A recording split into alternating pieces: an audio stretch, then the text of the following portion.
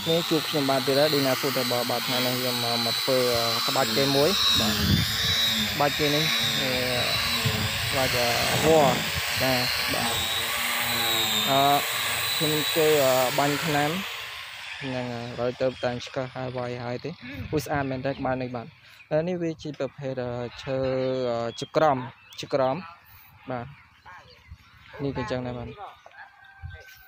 ពងបៀកដីវាហើយបិទតិចបិទអីចឹងនេះក៏ចឹងដែរ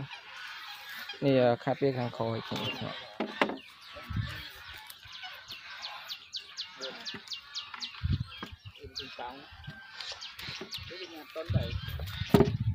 នេះគ្នា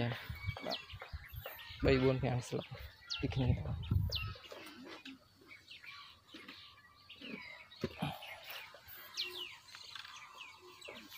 គឺស្អាតមែនតើណា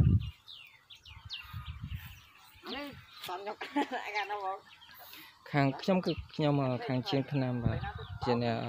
បាញ់ឆ្នាំបាញ់នេះណាអ្នកទាំងអស់គ្នាត្រូវការបាញ់ឆ្នាំបាញ់នេះអាចតំណតំណមកតាមលេខទូរស័ព្ទរបស់ខ្ញុំបានបាទតម្លៃសមរម្យទៅដល់ណាក៏ខ្ញុំធ្វើបានបាទទៅដល់ណាខ្ញុំធ្វើតែធ្វើដែរ អរគុណចំពោះការតាមដាននៅវីដេអូនេះជួបគ្នានៅវីដេអូក្រោយៗទៀតហើយកុំភ្លេច Subscribe Channel នេះផងដើម្បីទទួលបានវីដេអូថ្មីៗជាប្រចាំថ្ងៃទៅម្ដង